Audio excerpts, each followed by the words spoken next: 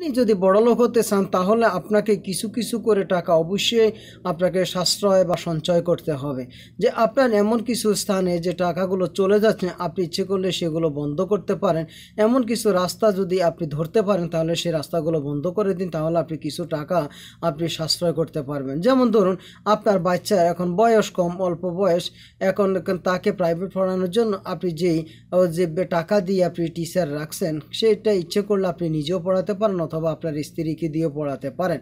অথবা আপনার ছোট বাচ্চাগুলোকে পড়ানোর জন্য আপনার বড় ছেলে, তাকেও আপনি হয়তো ব্যবহার করতে পারেন। এতে করে কি হচ্ছে যে লাভবান কিন্তু আপনি হচ্ছেন, সর্বদিক দিয়ে লাভবান আপনি হচ্ছেন। যে সর্বপ্রথম লাভবান হচ্ছে আপনি, আপনার বাচ্চাকে আপনি আন্তরিকতার সাথে পড়াতে পারতেছেন। যে ব্যাপারটা আপনি ভালো করে বুঝতেছেন। একসময় আপনি আপনার বাচ্চাকে যে কোনো সময় প্রশ্ন করতে পারেন যে, এই ট্রফিক সম্বন্ধে তুমি এটা বলো, এটা কীভাবে হয়েছে? বা, ও কীরকম ছিল?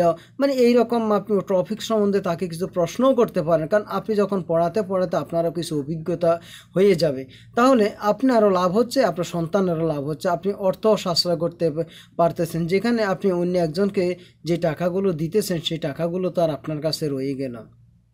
আর যখন আপনি আপনার সন্তানকে এইভাবে নিজের কোলে রেখে যখন পড়াবেন মানে আপনার পাশে রেখে যখন পড়াবেন, তখন আপনার সন্তানের সাথে আপনার আন্তরিকতা আরও অনেক গুণ বেড়ে যাবে।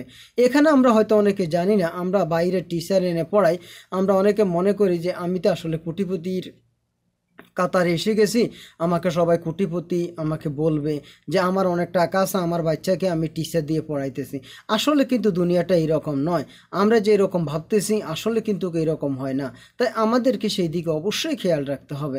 আমরা কি করা উচিত? আমরা আমাদের বাচ্চাদেরকে পড়ানোর জন্য আমরা এইভাবে যেন যেটা আমার পক্ষে সম্ভব সেটা আমি পড়াইতে পারি বা আমার স্ত্রী বা আমার বড় সন্তান যারা আছে, তারা ছোটদেরকে এইভাবে পড়াতে পারে। আমরা যেন সেই দিকে একটু সজাগ রাখতে পারি। তাহলে আমরা আমাদের অনেক কিছু আমরা এইভাবে সাশ্রয় করতে পারি, আমাদের অর্থ এভাবে আমাদের কাছেই থাকবে, আমাদের অর্থ আর এইভাবে এদিক সেদিক যাবে না। আমরা যদি একটু জ্ঞান খরচ করি, তাহলে আমাদের অর্থগুলো আমরা এইভাবে ধরে রাখতে পারব। আপনি ধনী বা বড়লোক হওয়ার জন্য আপনাকে অবশ্যই এক টাকা, দুই টাকা, একশো টাকা, এক হাজার টাকা আপনাকে অবশ্যই হিসাব করতে হবে। কারণ এইভাবে ক্ষুদ্র ক্ষুদ্র বালুকণা বিন্দু বিন্দু জল গড়িয়ে তোলে মহাদেশ, সাগর তল আপনি যদি সূত্রটা যদি বুঝতে পারেন, তাহলে আপনার জীবনে একদিন না একদিন আপনি বড়লোক বা ধনী হতে পারবেন ইনশাল্লাহ আমার এই চ্যানেলে যদি আপনি আমার এই ভিডিওটি প্রথম দেখেন, তাহলে আমার চ্যানেলটা সাবস্ক্রাইব করে দিবেন এবং পাশে থাকা বেল আইকনে ক্লিক করে দিবেন, যাতে করে পরবর্তীতে আরও মূল্যবান ভিডিওগুলো যেন আপনি সহজে পেতে পারেন।